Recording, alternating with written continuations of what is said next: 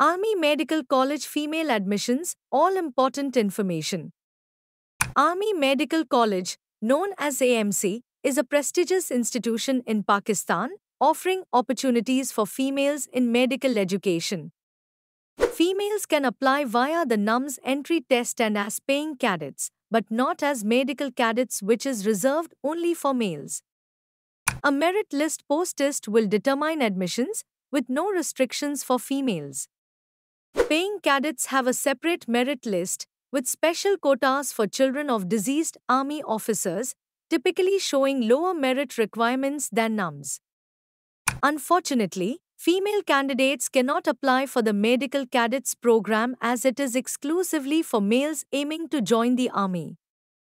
For more details, visit the NUMS AMC website or PrepareHow for updates on eligibility, fee structures, and more.